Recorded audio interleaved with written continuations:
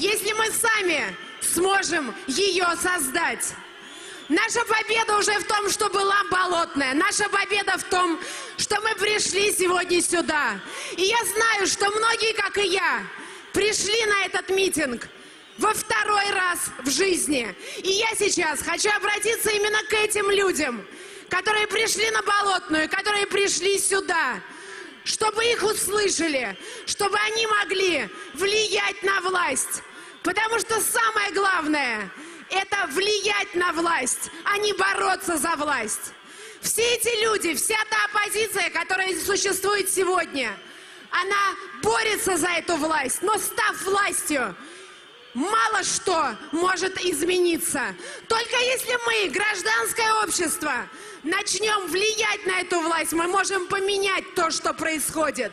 А для этого должна быть партия, должно быть движение, которое сможет стать каждым и сможет стать движением, про которое каждый может сказать, это моя партия. Такого движения нет.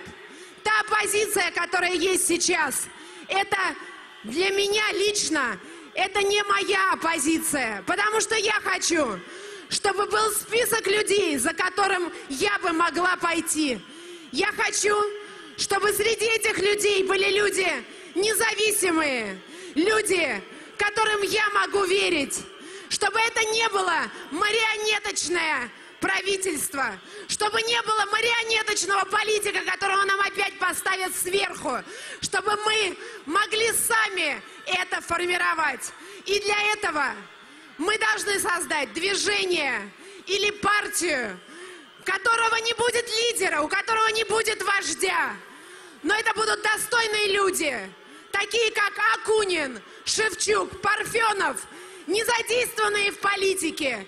Не те люди, которые будут захватывать Кремль. Не те люди, которые будут призывать нас к революции. Не те люди, которые будут хотеть гражданской войны. А люди, которые...